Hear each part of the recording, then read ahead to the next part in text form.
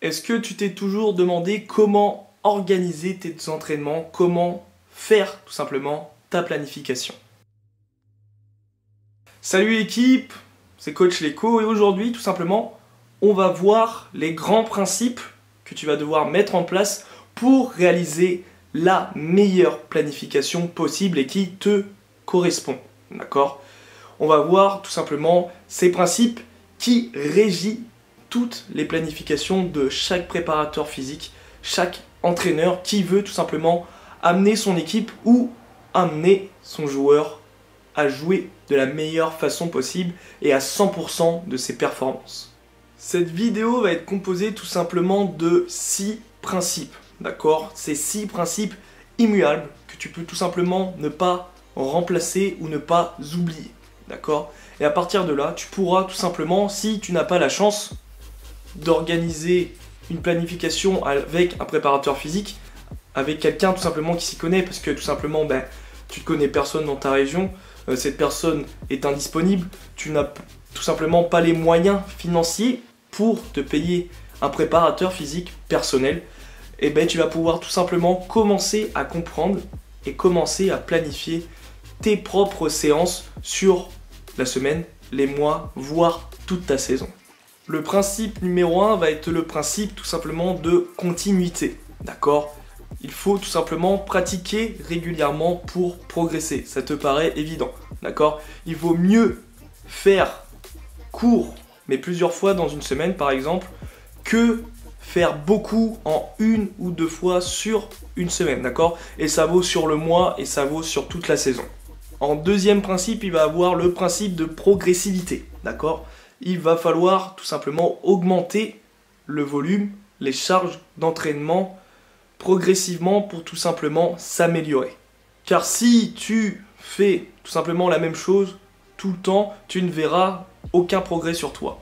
Et à l'inverse, si tu augmentes la charge trop rapidement, bah, tu risques tout simplement, bah, par exemple, de te blesser, d'augmenter ce risque de blessure que tu dois absolument éviter. En principe numéro 3, tu vas avoir le principe de variété il va falloir tout simplement apporter de la nouveauté régulièrement à tes séances d'entraînement. D'accord? Parce que tout simplement l'organisme, le corps s'habitue et s'adapte très rapidement.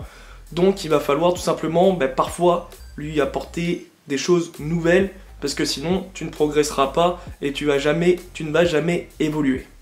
Le quatrième principe que tu connais, je pense, il va falloir alterner, d'accord, le temps de travail et le temps de repos. Parce que travailler, c'est bien, mais récupérer, c'est bien aussi pour le corps et pour, encore une fois, éviter tout simplement les blessures et stagner à ton niveau.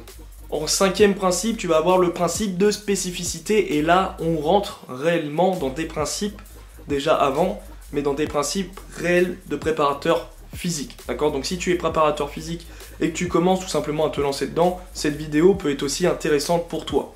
Alors pour ce cinquième principe, il va falloir tout simplement que tu te proposes des entraînements spécifiques pour faire des efforts maximaux et qui correspondent tout simplement à ton poste. Donc par exemple un, un intermittent en endurance sur un effort spécifique d'un match. Voilà, tout simplement, il faut se rapprocher le plus possible de la situation du match, de la situation qui est tout simplement bah, la situation réelle. Et le sixième principe sera le principe d'individualisation.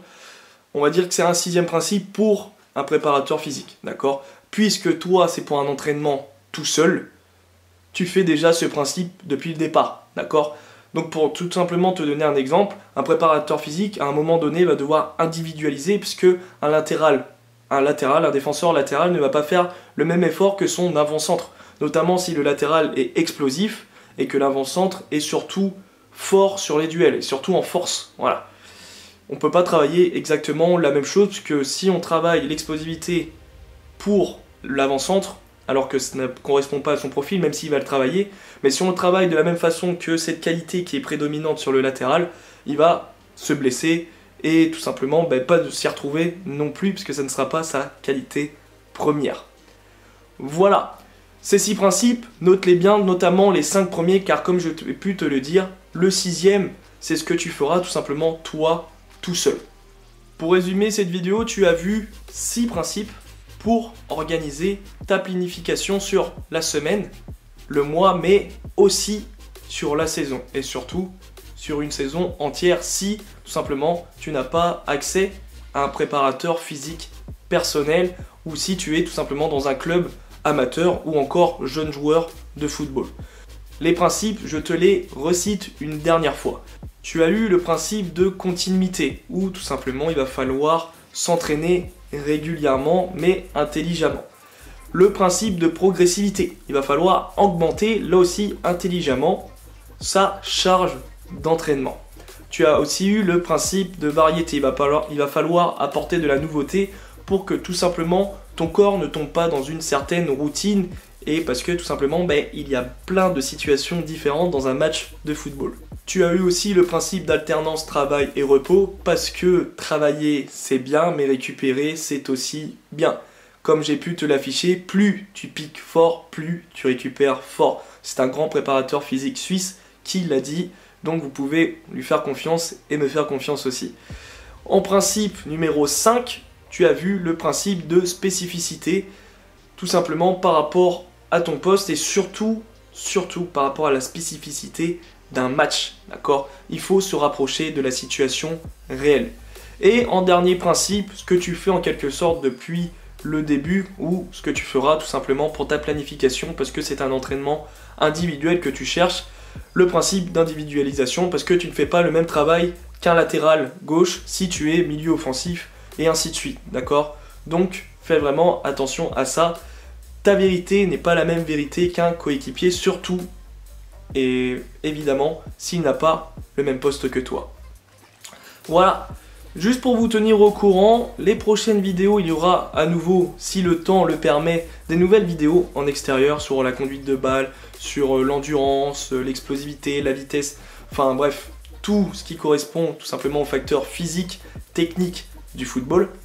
Et il y aura de plus en plus, puisqu'on arrive dans cette trêve estivale, des planifications, des programmes pour cette trêve-là. Voilà, pour que tout simplement tous vous puissiez progresser, d'accord Si vous n'avez pas la possibilité, comme je l'ai dit, d'avoir quelqu'un qui vous suit réellement, et bien évidemment, moi, cet été, j'aurai la chance de suivre quelques-uns d'entre vous, en tout cas ceux qui seront le plus motivés. Merci encore une fois d'avoir suivi cette vidéo. Travaillez bien, continuez tout simplement votre progression même pendant la trêve estivale, même s'il ne faudra pas oublier la petite période de repos, mais on verra ça dans une prochaine vidéo. Ciao l'équipe